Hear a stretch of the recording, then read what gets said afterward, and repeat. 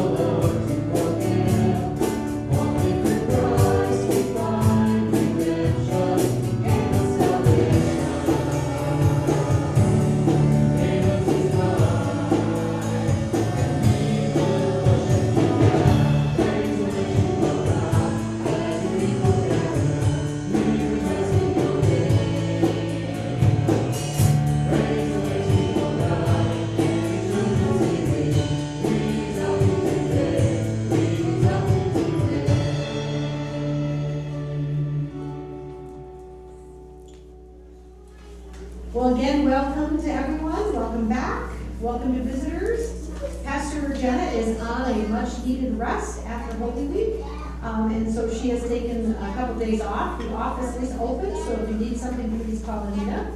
We welcome Pastor Ken Gibson today and thank him for his worship with us and the ability to continue having communion weekly uh, with our pastor leading that today.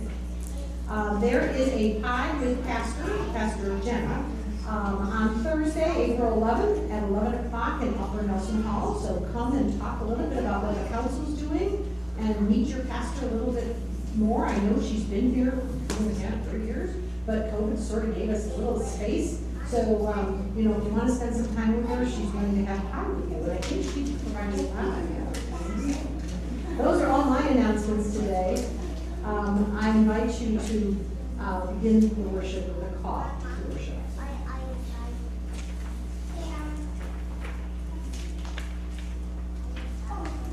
Jesus said, Follow me. Jesus said, Take heart to die. Do not be afraid. Jesus said, Forgive seventy times seven. Jesus said. Feed my sheep. In response, we say, Here's my heart. Take and seal it.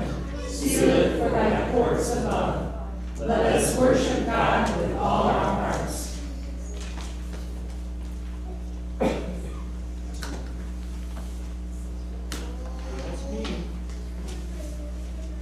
Uh, blessed be the Holy Trinity, one God, the wellspring of grace, our Easter and our joy. Amen. Look, here is water. Here is our water of life. Hallelujah. Immersed in the promise of baptism, let us give thanks for what God has done for us. Give you thanks, O God, for in the beginning your voice thundered over the deep, and water became the essence of life. Adam and Eve beheld Eden's verdant rivers. The ark carried your creation through the flood into a new day. Miriam led the dancing as your people passed through the sea into the freedom's land. In a desert pool, the Ethiopian official entered your boundless baptismal life. Look, here is water. Here is our water life. At the river, your beloved son was baptized by John and anointed with the Holy Spirit. By the baptism of Jesus' death and resurrection, you open the floodgates of your reconciling love freeing us to live as Easter people. We rejoice with glad hearts, giving all honor and praise to you, through the risen Christ, our source of living water, and in unity the Holy Spirit, now and forever. Look, here is water. Here is our water of life. Hallelujah.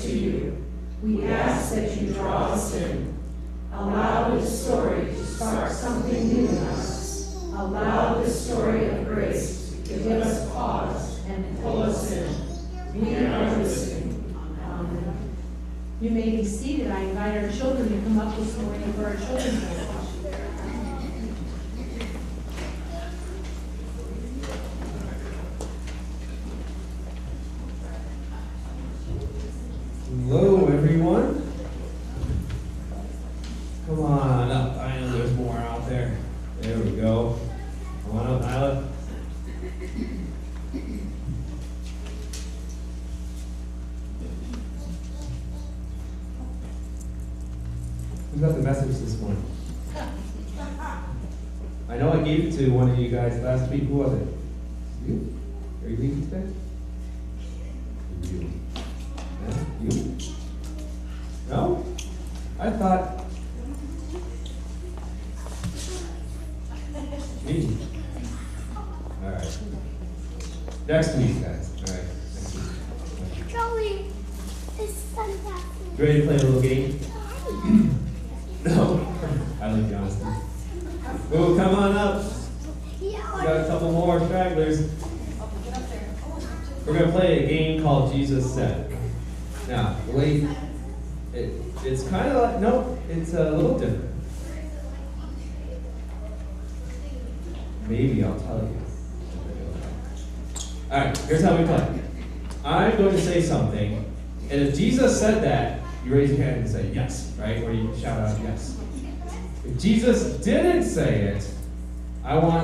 Me what he did say. Okay? Guys ready? Okay. Jesus said, I'll follow you. What do you guys think? You follow me. That's right. Jesus said, Follow me. Right? I will be there with you. All right. Do not be afraid. I am here. Yeah? Yeah? Yeah. Oh, someone was paying attention earlier. Oh, that might help you then on this next one. Forgive 70 times 7. Yeah? Guys, yeah? Okay. All right. Feed my sheep to the wolves.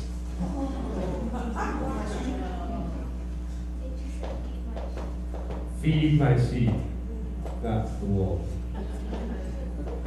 That's right. Here's one that was not up there, okay? That shows up later in, in the scripture. Blessed are those who haven't seen yet believe. You think he said that? Yeah. Do you know why he said that? Who he said it to? Either of those? To Peter? No, not Peter this time. Peter gets a lot, gets a lot of. Have you ever heard of the, the doubting? The train. Thomas, yes, one of the disciples.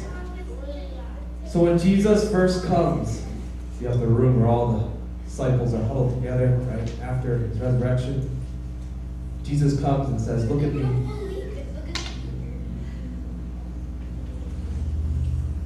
Says, Here's my hands, here's my side, right?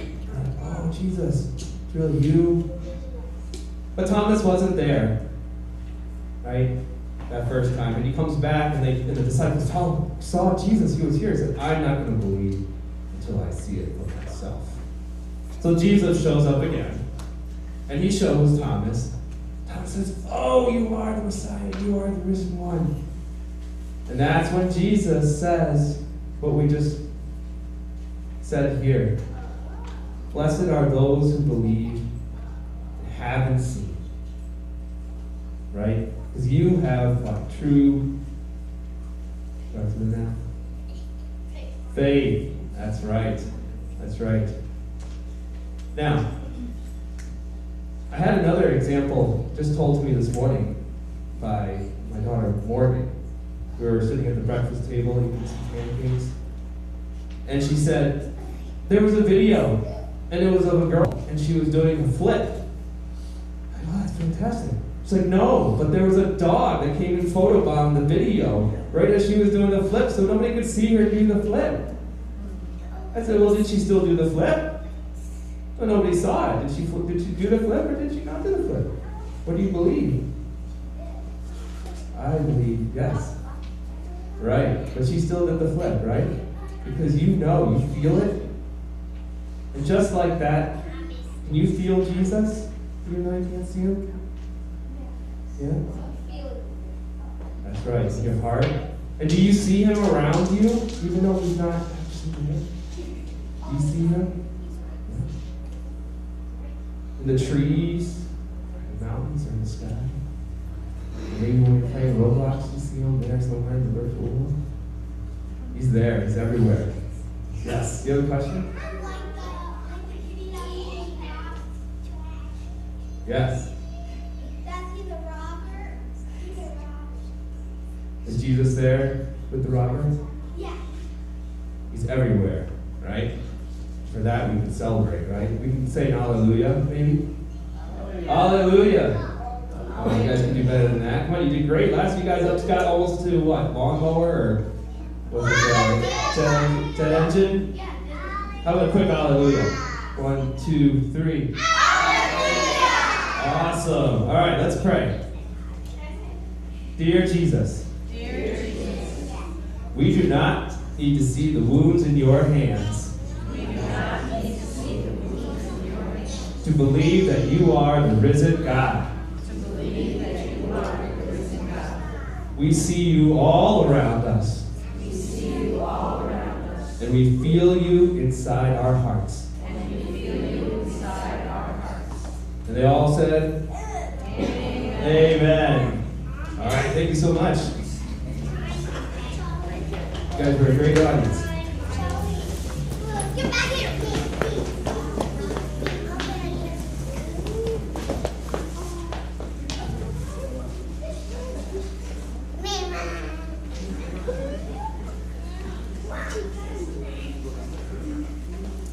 The first reading is from the book of Acts, the fourth chapter, beginning at the thirty-second verse.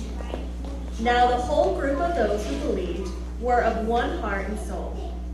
And no one claimed private ownership of any possessions, but everything they owned was held in common.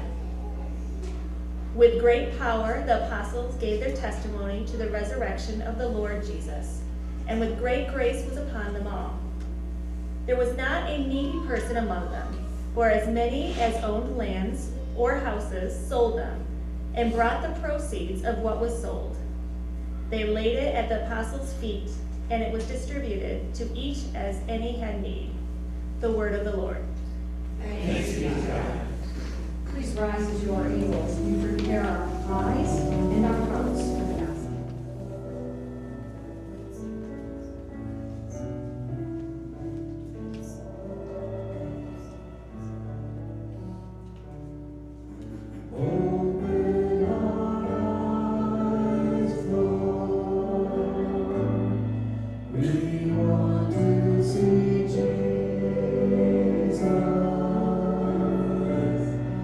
to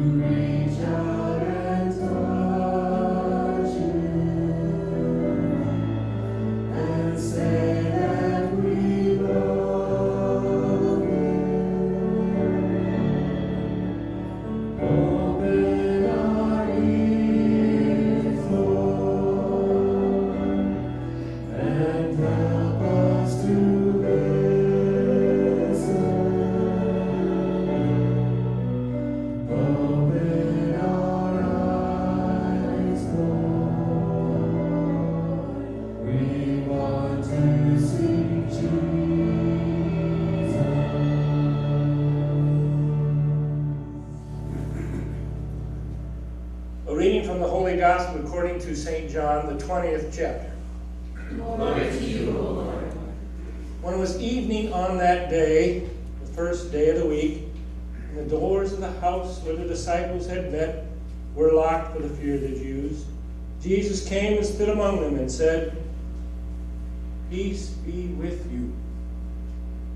After he said this, he showed them his hands and his side. Then the disciples rejoiced when they saw the Lord. Jesus said to them again, Peace be with you. As the Father has sent me, so I send you. And when he said this, he breathed on them and said to them, Receive the Holy Spirit. For if you forgive the sins of any, they are forgiven them. If you retain the sins of any, they are retained. But Thomas, who was called the twin, one of the twelve, was not with them when Jesus came. So the other disciples told him, We have seen the Lord. But he said to them, You know, unless I see the mark of his nails in his hands and put my finger in the mark of the nails in my in his hand on the side, I, I will not believe. A week later, his disciples were again in the house, and Thomas was with them. Although, although the doors were shut, Jesus came and stood among them and said, Peace be with you. Then he said to Thomas, Put your finger here and see my hands. Receive, reach out your hand and put it in my side. Do not doubt, but believe. Thomas answered him, My Lord, my God. Jesus said to him, Have you believed because you have not because you have seen me? Blessed are those who have not seen and yet have come to believe. Now Jesus did many other signs in the presence of the disciples, which are not written in this book. But these have been written so that you may come to believe that Jesus is the Messiah, the Son of God, and that through believing you may have life in his name. This is the gospel of our Lord. Praise to you, O Christ. You may be seated. Now, at the first service, I got to tell you, I thought the preacher was okay. um, but I've kind of been moved by the Holy Spirit to change things up a little bit. There's a few things out of here that I, I want to, I do want to carry forth. Now, everybody on this day is usually expecting the doubting Thomas. Let's just put it straight. We're all doubting Thomas. We all have moments, as we were reading earlier in our responses, that sometimes we doubt. You know, so we don't want to, we can't just lay this all on Thomas. It's a human condition. All right? So that's all you're going to get on doubting Thomas today. What I really thought grabbed my heart was the understanding of receiving of the Holy Spirit.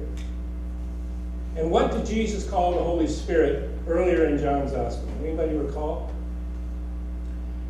Receive the Holy Spirit. Remember in that time leading up to the crucifixion what Jesus told them about the Holy Spirit. He called it the Spirit of truth. The Spirit of truth, which will lead us all into the truth. That's in chapter 16 of John's Gospel. Jesus talks in quite some depth about the Holy Spirit throughout three whole chapters of John's Gospel, 14 through 16.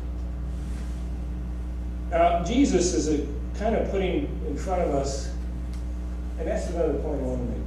If we read this as this about something that happened 2,024 years ago, it's just a history book. But if we read this and take it to heart that it's also a lesson for us, and we accept the challenges, then we have what I think God intends for God's book. And it's kind of a challenge. Jesus, this is a challenge saying, The Father has sent me, so now I send you, as He gave him the Holy Spirit. Bearing the wounds I suffered for you, with the words of peace between us. So, what did He say as He entered the room? Be with you. Now, in Jesus' time, the Shalom Aleichem really had a meaning. Yes, it is peace be with you, but it's really more than just that. It's there's peace between you and me now. Let there be peace between you and me. And it's carried forth yet. We will do it in our service today, won't we? Peace between you and me. Instead of all the pain that comes to us from not, and that's the other part of this text that I wanted to get to, is when Jesus issues to them this challenge, it's it's uh, it's about forgiveness of sin. We talked in there about how you for, receive the Holy Spirit. If you forgive the sins of any, you're forgiven. They are forgiven. If you retain the sins of any, they are retained.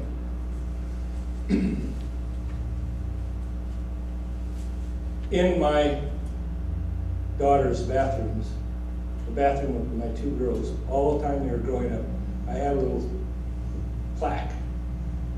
Forgive everyone everything. Forgive everyone everything. And they started to grow older, they asked some questions, well, how do you do that, Dad? Well, think it's Jesus' command here in this text. Forgiveness of sin. In the Bible study today, there was a great discussion. If you haven't had a chance to go to that thing, I'd recommend it. It's pretty, pretty deep. I thought I was back in class. Um, and the whole understanding of why Jesus had to die on the cross. So it's really good Easter kind of stuff. But in talking with my daughters and thinking about this forgiveness thing, I used to say to them, if God could have found a better way to bring about relationship, to bring about forgiveness, to bring connectedness to God's self, a better way than forgiveness, God would have thought of it. But what did God come up with? Forgiveness of sin through death and resurrection on the cross. All right? So we have, to, we're charged in this text, and I think in our Christian understanding, to go to forgiveness. So, well, that's pretty hard to do, Pastor. There's some people out there I'd just soon not forgive. I mean, there's people voting, there's no way they should be voting for this person, that, I don't care what side you're on. Aren't we entrenched? And he says in there, if you forgive the sins of any, they're forgiven. If you retain them, they're retained. I have spent 30 years as a parish pastor. In those years, some of the most difficult one-on-one conversations I had is when people came to think that God couldn't forgive them for what they had done. I mean, my very first day, the first day of my call in Chasseau, Michigan, way, way up in the UP there, eh? We had nine months of winter and three months of poor sledding, eh? A gentleman killed his wife, member of the congregation. Off I go to the jail, he wants to talk to me. And as a person of the church, that doesn't mean he won't have to pay for his crime. You know, he was convicted and I'm sure he died in prison. I don't know. It's been 30 years ago. More than that. And, uh, but I had to offer him forgiveness. Now you think, well, that's your job. Well, let's think of a few years back, and I hate to bring this up because there's way too many of them, but anybody remember the slaughtering of the innocents at an Amish school? Where I think it was eight children were killed while they were in a beautiful little community setting where they thought they'd be safe. By the end of the day, the parents of those who were killed found their way to the wife of the assailant and forgave him. Why? How could they do that? Because not to do it would have weighed on them too heavily. Not love. It's almost like it's impossible not to love. Two years ago, my beautiful daughter Lauren, other my two grandsons, killed herself. It's the hardest pill I've ever had to swallow. Because of it, I retired early. But in my journey of continuing to preach the gospel and share the faith, I remembered that thing under wall. It's impossible for me not to forgive her for that act. Because the love is too deep. The love is so real. That's Jesus for us. The love is so deep, the connection so desired, it's impossible not to love. them. So next time we get to thinking, I'm just gonna shut that person out of my life, who are we hurting? And that's one of those places where we could do like the little bracelet that used to be around. Mm-hmm. What would Jesus do? It's more like, what has Jesus done? What has Jesus done that we should do? Peace be with you. And with you. That's the mode of operation that Jesus desires for us. That's the Easter message. That's why Christ is risen. He is risen indeed. Okay, like the kids up here, you can do better than that. Christ is risen. He is risen indeed. Hallelujah. Amen. Go and love as God has loved. And remember that sign. Forgive everyone, everything. It's a way to take the next step forward. Amen. Amen.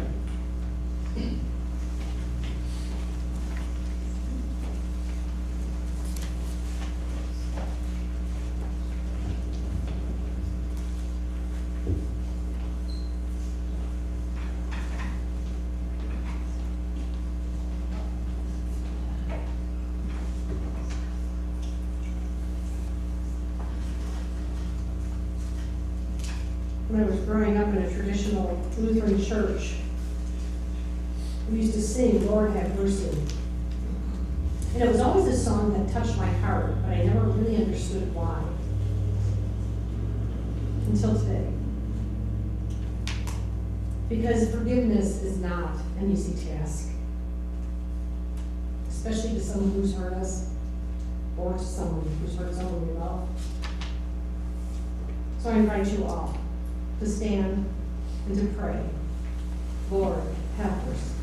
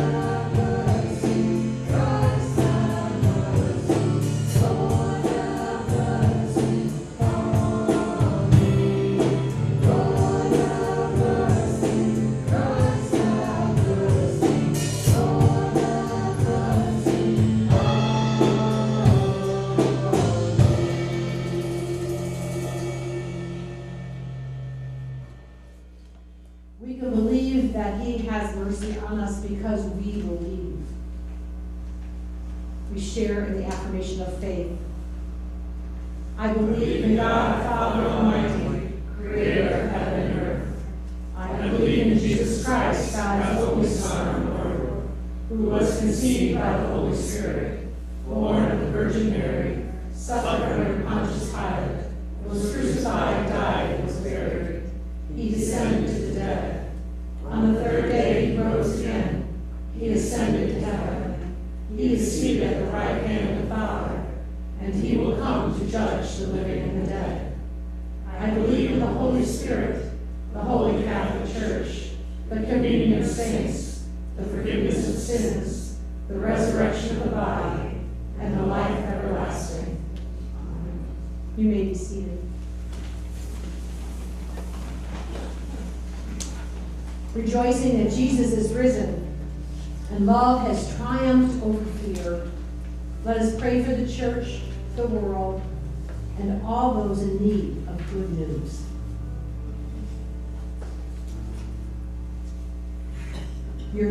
cries out, O God, and you listen.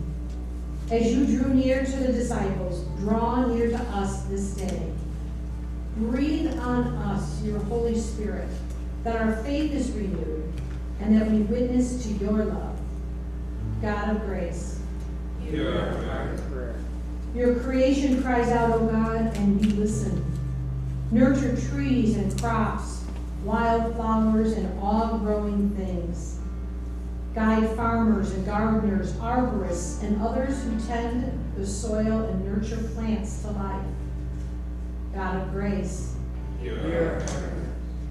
Your world cries out, O God, and you listen. Guide police and firefighters, paramedics, and other first responders to work for the well-being of our communities and to the dignity of every person, so that no one need to live in fear. God of grace. Hear our prayer.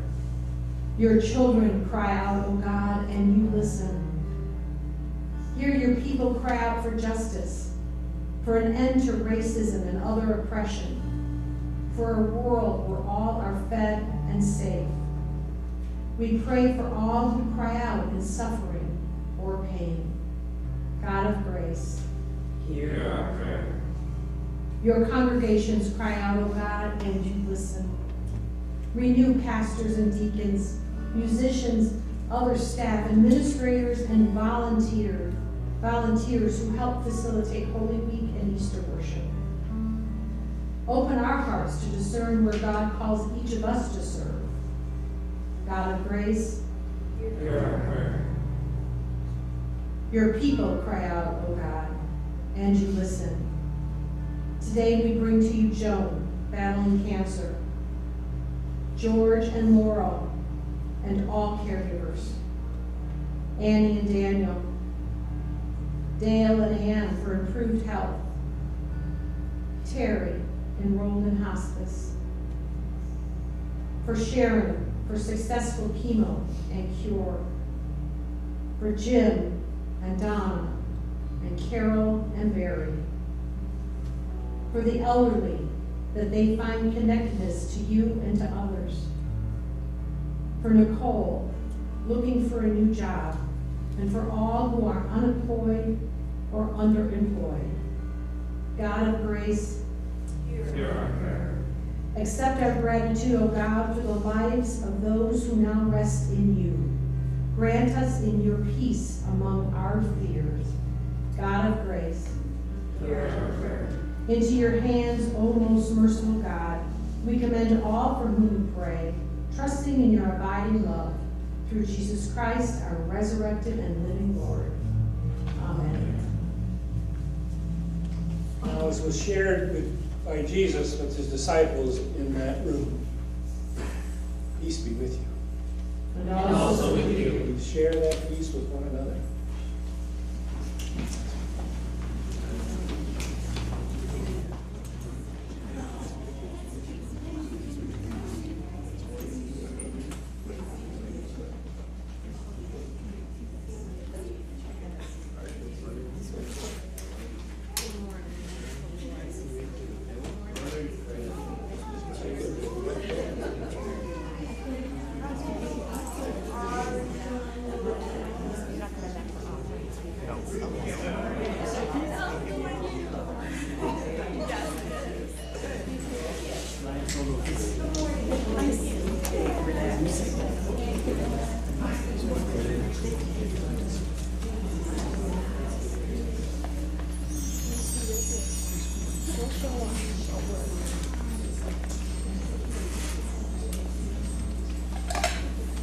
In response to the peace that he brings us,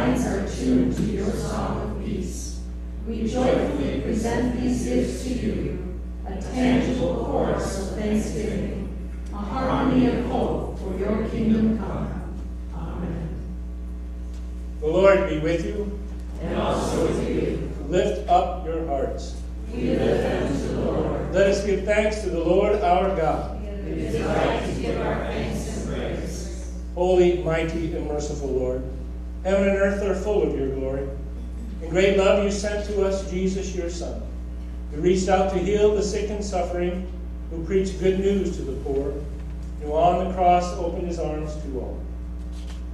In the night in which he was betrayed, our Lord Jesus took bread. He gave thanks, blessed the bread, broke it, and gave it to his disciples, saying, Take and eat, for this is my body, and it's given for you. Do this in remembrance of me. After supper, he took the cup. Again, he gave thanks and praise, and he gave the cup to all to drink, saying, This cup is a new covenant in my blood. It is shed for you and for all people for the forgiveness of sin. Do this in remembrance of me.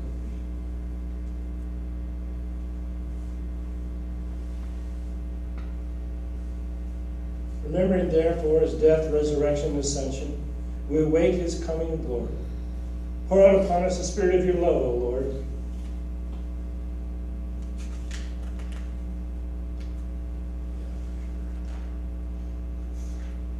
And unite the wills of all who share this heavenly food, the body and blood of Jesus Christ our Lord, into whom, with you and the Holy Spirit, be all honor and glory, now and forever.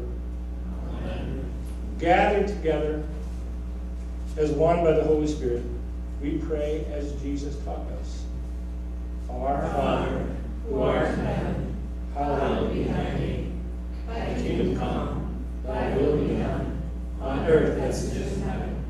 Give us this day our daily bread, and forgive us our trespasses, as we forgive those who trespass against us. And lead us not into temptation, but deliver us from evil. For thine is the kingdom, power, and the glory, forever and ever. Amen. These are the gifts of God for the children of God. Come. All is ready. All are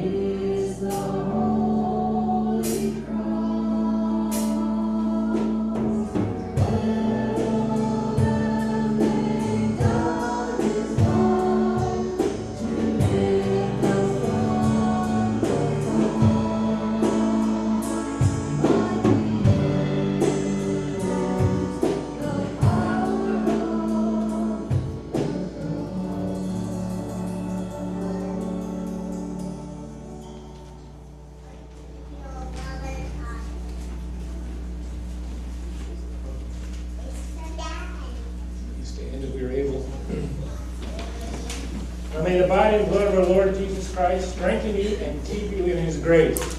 Amen. Holy, gracious God, here at this table, your promise of life is made tangible.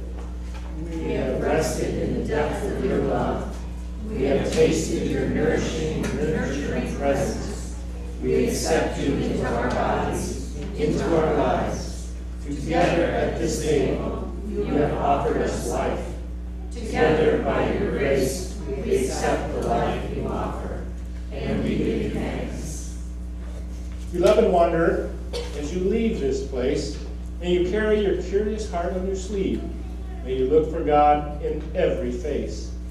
May you find the courage to get out of the boat and run to the tomb, and to speak of your faith. And when the world falls apart, may you hear God's voice deep within saying, Take heart, it is I. Do not be afraid. You are called, you are blessed in both your ups and your downs. You always belong to God. So go now in peace. Go trusting that good news. Cast our cares aside, our fears aside, and trust in Him. And He wants us to use that in our daily life. So today is the day that we step out